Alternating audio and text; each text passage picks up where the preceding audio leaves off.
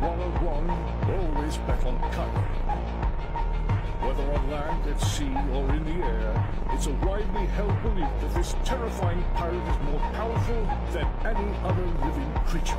The man who longed for a place to die. King of the beasts, Kaido.